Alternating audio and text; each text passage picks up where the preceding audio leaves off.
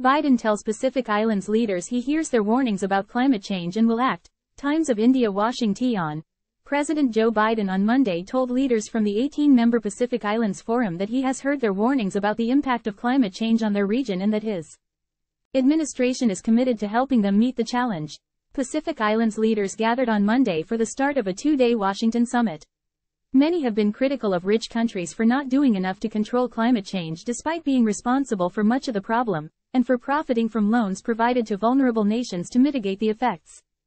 Time equals 400 ms greater than at the summit's start. Biden said that his administration is requesting Congress approve $200 million in new assistance for the region, including financing to help the islands prepare for climate and natural hazards and improve infrastructure.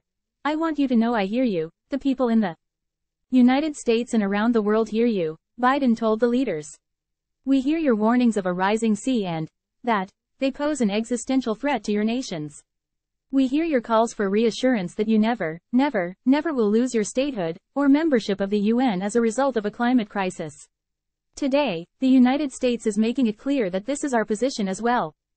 As part of the summit, the U.S. is formally establishing diplomatic relations with two South Pacific nations, the Cook Islands and Niue. Later Monday, Secretary of State Antony Blinken will take part in signing ceremonies with Niue Premier Dalton Tagelagi and with Cook Islands Prime Minister Mark Brown to mark the new elevated relations. Brown welcomed the elevation of U.S. relations with the Cook Islands and said the U.S. Pacific Islands partnership could be an important tool for helping the region achieve its aspirations. These milestones celebrate areas of change and demonstrate that with unshakable resolve and leadership, remarkable achievements are possible, Brown said. Blinken is also set to take part in an event with Kiribati President Taneti Maamau later Monday as the island country was set to sign on to a new partnership with the U.S.-backed Millennium Corporation Challenge.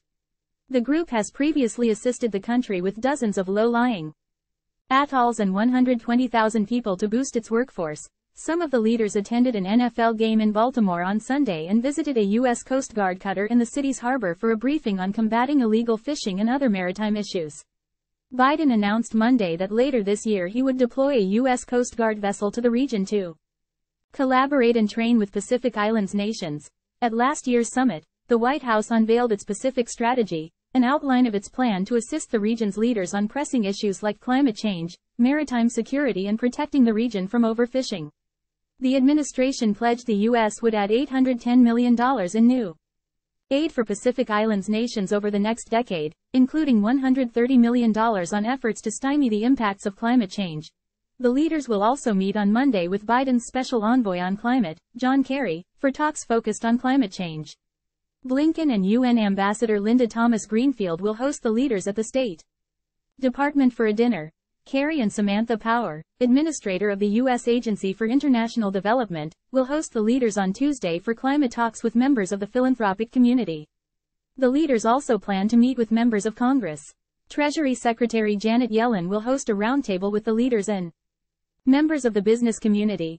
Power last month traveled to Fiji to open a new USAID mission that will manage agency programs in nine Pacific Islands countries Fiji, Kiribati, Nauru, Samoa, Tonga, Tuvalu, Republic of the Marshall Islands, Federated States of Micronesia, and Palau. The U.S. this year has opened embassies in Solomon Islands and Tonga, and is on track to open an embassy in Vanuatu early next year. The forum includes Australia, the Cook Islands, Micronesia, Fiji, French Polynesia, Kiribati, Nauru, New Caledonia, New Zealand, Niue, Palau, Papua New Guinea, Republic of Marshall Islands, Samoa, Solomon Islands, Tonga, Tuvalu, and Vanuatu.